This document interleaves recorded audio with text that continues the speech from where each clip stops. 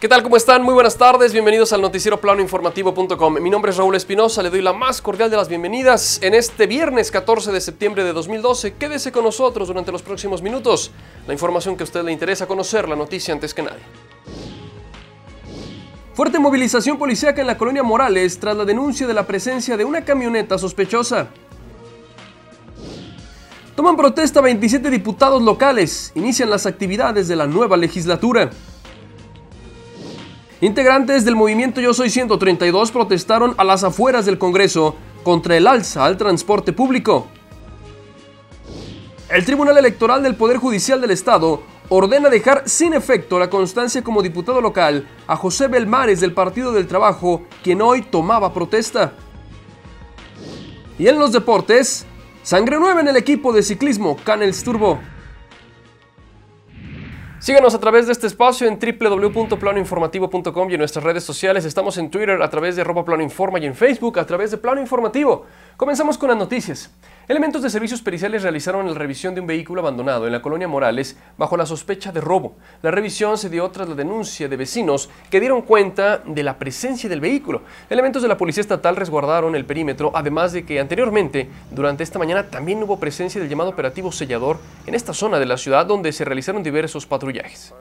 Se registró una intensa movilización policíaca en la colonia industrial mexicana. De acuerdo a los primeros reportes, patrullas de la Policía Estatal realizaron un operativo por la Avenida México y algunas calles de la colonia ferrocarrilera. Según testigos, a temprana hora se escucharon detonaciones y al parecer se localizó un vehículo con impactos de bala cerca de la calle Fresnos. En San Luis Potosí, la edad promedio en el inicio de consumo de drogas ilícitas es de los 10 a los 14 años de edad. Jaime Torres nos detalla. San Luis Potosí se considera dentro de la media nacional en cuanto al consumo de alcohol, tabaco y otras drogas de uso ilícito, ya que son Quintana Roo, Puerto Vallarta, Cancún, Ixtapa y ciudades de gran afluencia turística las que se encuentran muy por arriba en cuanto a estos registros se refiere, dijo la fundadora de los Centros de Integración Juvenil, Kena Moreno. Sin embargo, las cifras comienzan a ser alarmantes en la entidad, donde por cada tres hombres se registra a una mujer con este consumo. Y eh, lo que sí nos preocupa es que los niños ya empiezan a edad muy temprana. Tenemos que los porcentajes aquí de, em, niños, de jóvenes que piden, eh, eh, que acuden a nuestros servicios es del 53.8 de 10 a 14 años. De acuerdo al Centro de Integración Juvenil, las drogas ilícitas de mayor consumo entre los pacientes de primer ingreso a tratamiento en el Estado son marihuana, inhalables, cocaína, crack y alucinógenos. El alcohol registra un 90.8% de consumo y el tabaco 82.3%, aspectos en los que se debe atender desde los diversos órdenes de gobierno. Y bueno, nosotros vamos a darle continuidad, Kena. Vamos a apoyar, vamos a seguir apoyándolo. Estoy convencido y también sé que hay corresponsabilidad.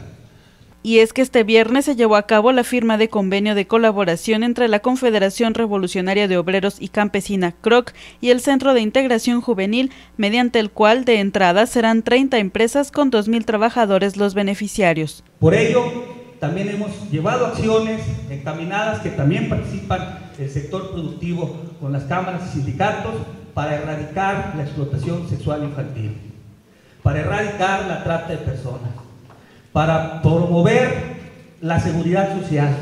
La próxima meta en la que se trabajará el Centro de Integración Juvenil es dotarlo de espacios para internamiento, Kena Moreno informó que el año pasado se atendieron 5.300.000 personas en prevención y 98.000 en tratamiento en todo el país, cifras que están rebasadas en prevención y tratamiento de este año. Finalmente, se realizó el corte de listón de la nueva área que corresponde a la última etapa de sus instalaciones, donde se brindarán más talleres y atención al público que reciben.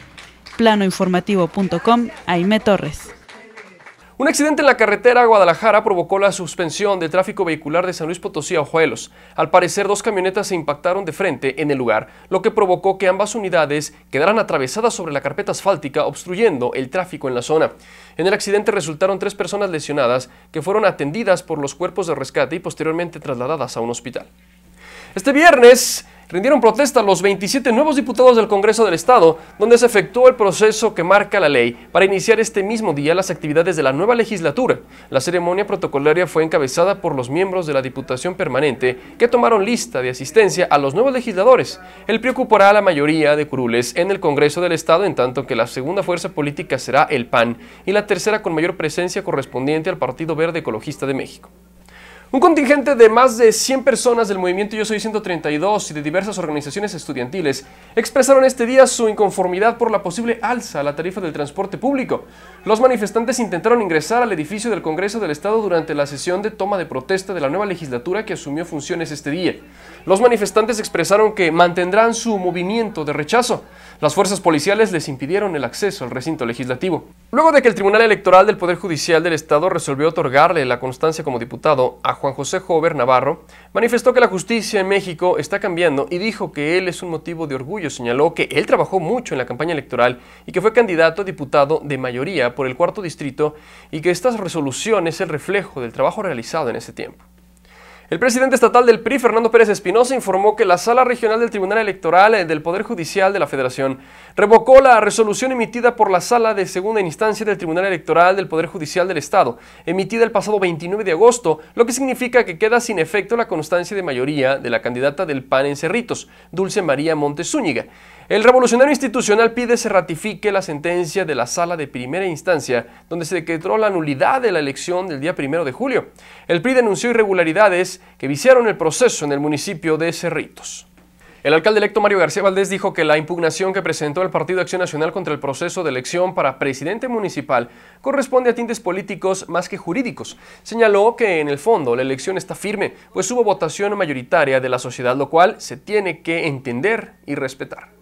Eh, es un asunto que se ha llevado en los tribunales pues como una estrategia partidista más que jurídica. En el fondo pues la elección está firme, eh, hubo una votación mayoritaria de la sociedad y yo pienso que no hay ningún problema. Además sí hay que declarar que esta impugnación no es estrictamente contra su servidor, contra Mario García, como candidato, ni contra el PRI, sino que es un tema que tiene que ver con, el, con la conformación de las este, casillas, ¿no? Que eso corresponde a otra autoridad electoral. El coordinador de la fracción parlamentaria del PAN, el diputado Miguel Más Hernández, dijo que los legisladores de Acción Nacional se comprometen a realizar un trabajo transparente, anteponiendo los intereses y el bien común de los potosinos. El diputado local reconoció que hay un rezago en las iniciativas de ley. Va a ser una postura congruente, una postura responsable, que va a trabajar mucho, muy intensamente por San Luis Potosí y por el bienestar de todos los potosinos. Bien, momento de hacer una breve pausa. Acompáñenme en la primera del noticiero. Volvemos de inmediato. Y al regresar, el CENTE elegirá a su nuevo líder magisterial. Además, proyectan un vuelo de Tamaulipas a San Luis Potosí. Con ello se promoverá la afluencia turística. Listo, listo.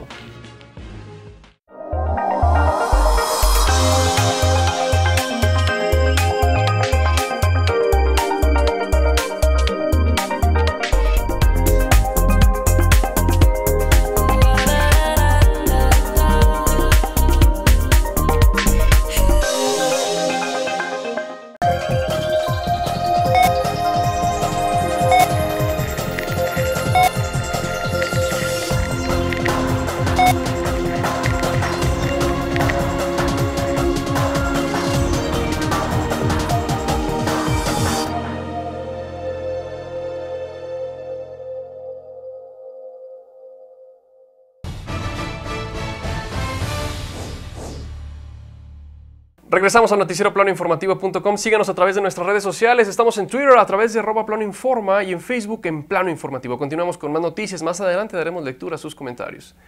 El secretario general de la Confederación Revolucionaria de Obreros y Campesinos, Héctor Serna Camacho, dijo que la reforma laboral tiene que ser acorde y con respecto al artículo 123 constitucional, por lo que mencionó que mientras vaya en contra, no deberá aprobarse. Yo vuelvo a repetir, no puede haber reforma laboral que vaya en contra de la Constitución del artículo 123. Con la presencia de 635 delegados fue inaugurado el vigésimo segundo Congreso Estatal Extraordinario de la sección 26 del Sindicato Nacional de Trabajadores de la Educación. El dirigente Crisógono Sánchez Lara rindió su informe de actividades en el que se destacó el trabajo realizado a la fecha como transparentar la asignación de plazas para maestros. Crisógono Sánchez Lara deja la Secretaría General de la sección 26 del CENTE tras tomar protesta como diputado local por el partido Nueva Alianza. Al menos siete son los aspirantes a ocupar la dirigencia de la sección 26 del Sindicato Nacional de Trabajadores de la Educación, el CENTE, para suceder precisamente el cargo de Crisógono Sánchez Lara. Mañana 15 de septiembre se definirá al próximo líder magisterial. En el proceso de elección participarán 635 delegados. Al menos 40 ambulantes de los denominados toreros serán retirados de plazas públicas durante las celebraciones de las fiestas patrias. A los comerciantes que venden productos flamables, como la espuma, se les solicitó retirarlos del mercado, ya que son considerados como sustancias peligrosas. En caso de que se detecten, el producto se les retirará y las multas van de los 5 a los 50 salarios mínimos. Constantemente los estamos retirando, ¿sí? Ellos no están en un padrón, no tienen autorización, no, no pagan sus permisos. Esas personas, por supuesto, no se toman no se, no se están tomando en cuenta y nuestra tarea, bueno, pues estarlos quitando constantemente. Sí, pues son, estamos cuidando siempre las, las, las, las áreas este, este, que son, son, más vulnerables, pero pues en estas fechas, bueno, pues a lo mejor este, el, el, día, el día 15 pues estaremos retirando a lo mejor unas 30, 40 personas este, en, en esos, que bueno, pues, hay que estar checando que se retiren del lugar, porque si no, nada, lo único que hacen es este, cambian de, cambian de, de acuerdo a información publicada en una columna del periódico Milenio en su edición Tamaulipas, la aerolínea Bel Air proyecta para diciembre conectar las fronteras de Tamaulipas con las ciudades del interior de la República, entre ellas San Luis Potosí. El objetivo es atraer turismo y llevar tamaulipecos a vacacionar y las rutas que contempla son San Luis Potosí, Uruapan, Michoacán y Poza Rica, Veracruz. Esta aerolínea pertenece a la empresa Aerorex y busca conectar las ciudades más importantes del estado por vía aérea. La Secretaría de Desarrollo Social recomendó a las delegaciones en el país permanecer alerta por el desarrollo de un sistema ciclónico en las costas de Colima y Michoacán, que registrará lluvias de fuertes a muy fuertes en el occidente y centro del país. Solicitó a las delegaciones en los estados de Chiapas, Guerrero, Oaxaca, San Luis Potosí y Tabasco extremar precauciones por la ocurrencia de lluvias fuertes a muy fuertes debido a un flujo de humedad en el Golfo de México. Bien momento de hacer la segunda pausa. Antes permítanme dar lectura a sus comentarios a través de nuestras redes sociales. En Facebook tenemos una gran cantidad de, comentarios. Eh, manejábamos una nota sobre el consumo de drogas en San Luis Potosí y las edades en promedio. En el inicio del consumo de las mismas que van de los 10 a los 14 años, tenemos un comentario de Luis Jasso que dice, y luego nos quejamos de que la tranquilidad se acabó en San Luis Potosí y que el arco se estableció en la ciudad por ellos y todos los que consumen estamos así. En fin, es lo que dice Luis Jasso, gracias a Sandra Iverson Villanueva. Dice, qué feo, ya a esa edad, yo, a esa edad andaba jugando con Barbies. Bueno, es lo que dice Sandra Iverson Villanueva. Gracias también al comentario de Jess Ortiz. También tenemos muchos comentarios sobre la nota que le acabamos de señalar en torno al retiro de las espumas que comúnmente eh, se observaban en el tradicional grito de independencia, gracias a los comentarios de Shole Nájera, de Gregorio Hernández, Salvador Pérez, Lupita Rosales, Gaby Canela, Tania Manríquez, Rayo Guzmán, José Antonio Alemán, Drimni Lick, Luis Jasso, Nancy Julieta y muchos más, todos ellos prácticamente reconociendo que pues para muchos que asistían al centro histórico, precisamente la celebración del grito era bastante incómodo tener que toparse con estas famosas espumitas. En fin, vamos a una breve pausa, volvemos de inmediato. Y al regresar en los deportes, sangre nueva en el equipo de ciclismo Canels Turbo.